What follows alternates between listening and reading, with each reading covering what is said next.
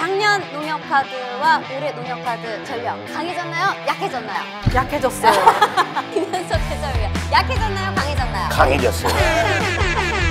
이유는 뭔가요? 빠질 사람이 빠졌어요. 빠져야 할 사람이 빠졌기 때문에 NH 농협은 강해졌어요.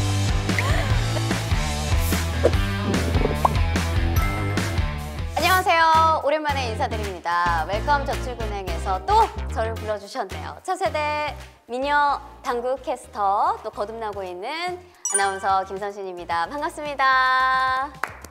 자, 오늘 또 김현석 해설위원 또 저의 원 플러스 원 저희 단짝이죠.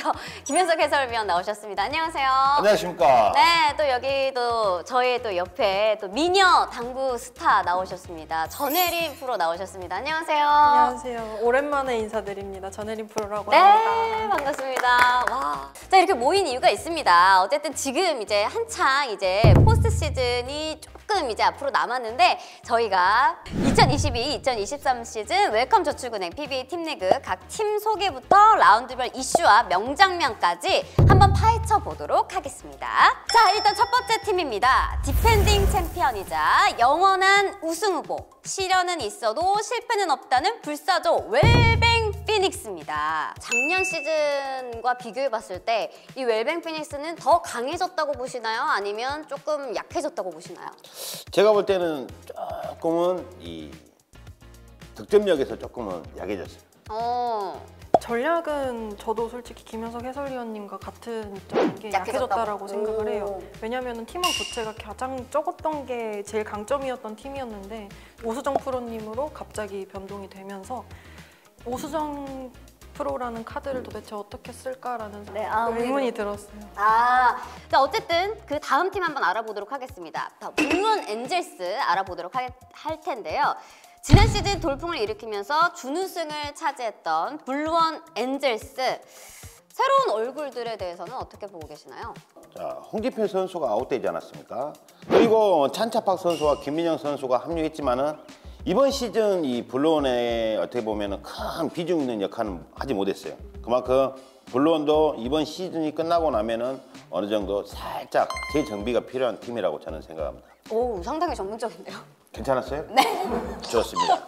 자, 그러면 이제 SK 렌터카 가보겠습니다. 자, SK 렌터카 대대적인 변화가 있었습니다. 사실 다른 신입보다 이우경 선수가 합류하면서 관심을 모았는데 이우경 선수를 포함한 SK 렌터카 다이렉트 어떻게 보셨나요?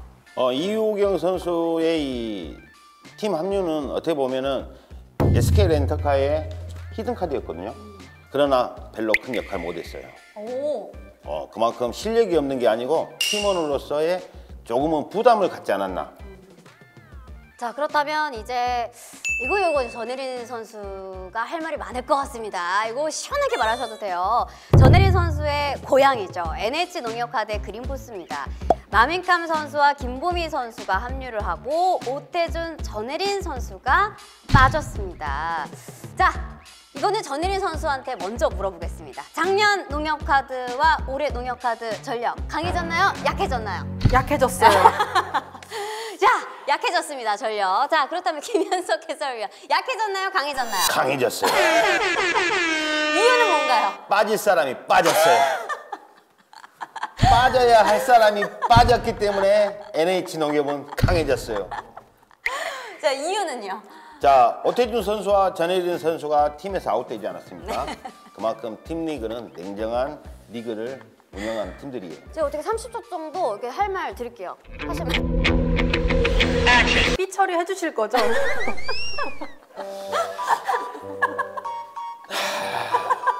좋은 좋은 팀이네요. 네, 구독 좋아요. 알림 설정. 부탁해요. 부탁해요. 비록 이번 시즌은 빠졌지만은 다음 시즌 또 이번 시즌 개인전에서 좋은 모습 보이면은 또 다음 시즌 또 NH 농협 카드가 아니고 웰컴도 들어갈 수 있어요.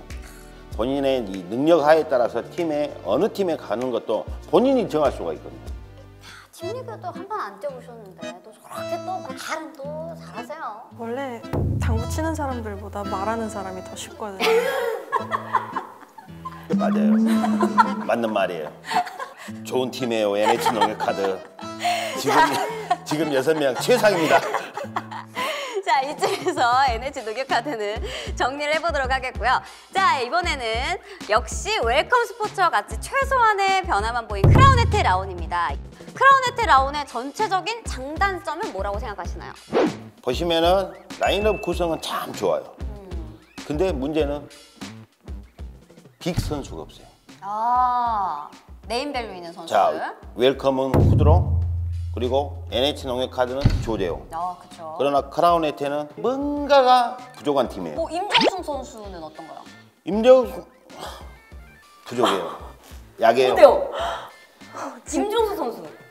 너무 좋은데요. 네. 7차 대회 우승했으니까 망정이지. 그거 우승 못했으면 방출감이에요. 지금 임종수 선수 전화 항의 전화 괜찮으시겠어요? 애매하면 편집하면 돼요. 네. 자, 다음은 PBA 유일의 토종팀 신토불이 TS 샴푸 앤 푸라닭 히어로즈입니다. 지난 시즌 2021-2022 시즌은 참 힘들었습니다. 좀 어떤 것 때문에 그랬다고 생각하시나요?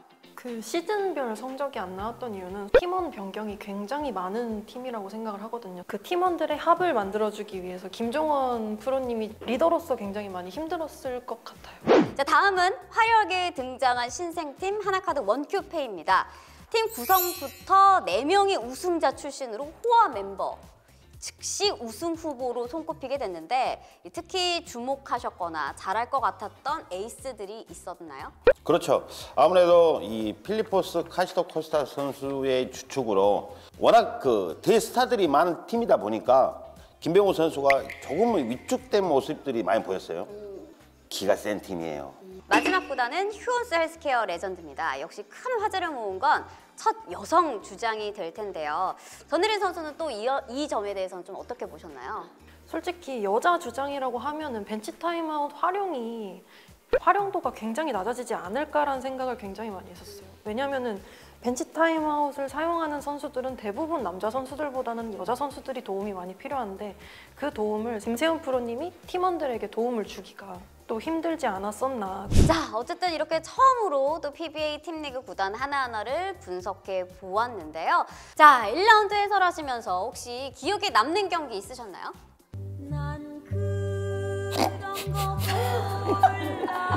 우리 전혜린 선수는 또 어떤 경기 기억에 남나요?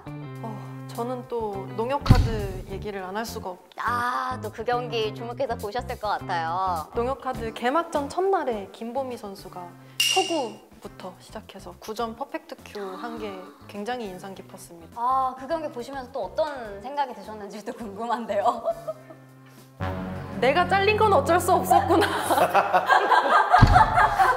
라는 생각을 했습니다. 솔직하게. 아. 굉장히 인정하는 경기가 되었었습니다. 눈을 뜨고 참아 볼 수 없는 그런 경기가 아니었나 싶은데 그렇다면 2라운드 함께 살펴보도록 하겠습니다. 김현석 해설위원은 어떤 점이 가장 눈에 띄시나요? 아무래도 이 쿠드롱 선수와 김재근 선수의 이 퍼펙트 큐가 나왔던 부분이 이제는 이 퍼펙트 큐, 이 팀 리그에서는 아주 뭐 흔한 득점력이에요. 네. 다음은 3라운드입니다. 3라운드에서는 또 기억에 남는 장면이 어떤 게 있을까요? 신생팀이었던 하나카드가 우승을 차지하게 되었고요. 2등으로서는 TS 푸라닭 팀이 2위로 포스트 시즌에 진출을 하게 되었습니다. 4라운드 주요 이슈 한번 살펴보고, 하- 살펴보도록 하겠습니다. 일단 두 분 혹시 기억에 남는 이슈 있으신가요? 아무래도 이 여자 선수들 SK 렌터카하고 크라운 해태의 맞트레이드. 오, 비, 신의 한 수였어요. 그렇죠. 이게 네. 남녀 투어 통틀어서 처음으로 트레이드예요. 그렇죠. 어, 전반기가 끝나고 후반기를 준비하는 첫 시작을 맞트레이드로 시작된 두 팀. 어, 그러나 두 팀 모두 별로 좋진 않아요. 아, 지금 네. 이제는 5라운드로 넘어가 볼 텐데요. 5라운드에 어떤 이슈가 좀 떠오르시나요? 5라운드는 특별하게 큰 사건 없었어요. 네. 생각 안 나시는 거 그냥- 아니고요? 5라운드에서는 웰컴 저축은행 팀이 점점점 도약하기 시작하는 시기가 아니었나 싶었습니다. 이렇게 하시라고요. 아니 저는 또 제 나름대로 분석을 많이 했거든요. 자, 그럼 6라운드 넘어가 보겠습니다. 얼마나 지금 분석을 잘하고 계신지 제가 한번 한번 보겠습니다.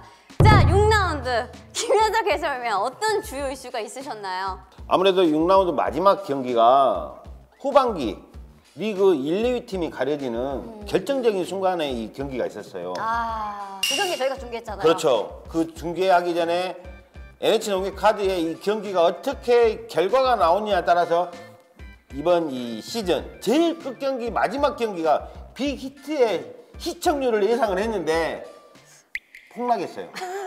전혀 의미 없는 게임이 되고 말았습니다. 모든 사람들이 그 NH 농협 카드와 TS 프라다 팀의 경기가 이기기를 바랬을 거예요. 농협팀이 마지막 경기까지 그렇죠. 빅히트로 재밌게 그쵸. 보기 위해서. 어떻게 보면 좀 싱겁게 끝난 이 후반기인데 6라운드인데 어, 블루원과 이 웰컴 저축은행의 이 후반기의 이 강세 그리고 끈끈한 이 라인업 구성 어쨌든 후기리그 MVP는 또 프레드릭 쿠드롱에게 돌아가면서 또 후기리그 막바지 그 막을 내리게 되었습니다. 자 이렇게 6라운드까지 세 분과 함께 또 정리를 해봤습니다. 자 이렇게 세 분과 함께 저희 2022-2023 시즌 팀리그에 대해서 각각 알아보게 되었습니다. 어, 정말 절실한 이번 시즌이었던 것 같아요. 네. 자 그리고 우리 전애린 프로도 우리 또 이 각각 high tension에 저랑 또 김현석 해설위원과 함께 처음으로 방송해봤는데 어떠셨나요? 소리로만 듣던 두 분을 앞에서 만나니까 굉장히 어, 기가 죽네요. 저희 다음 방송에서는 포스트 시즌을 앞두고 칼을 갈고 있는 네 팀 더욱 뜨거워진 포스트 시즌 팀의 불꽃 그 영광의 트로피는 누가 들게 될지 2022-2023 시즌 PBA 팀 리그 예측 당구 살롱에서 다음 주 미리 확인하세요. 사실 전애린 프로님은 지난 시즌 포스트 시즌 때도 함께 했잖아요. 전기보다는 후기가 더 긴장되고요. 후기보다는 포스트 시즌이 더 긴장돼요. 포스트 시즌 때는 냉기가 엄청나요. 구독, 좋아요 알람 설정 부탁해요. 부탁해요.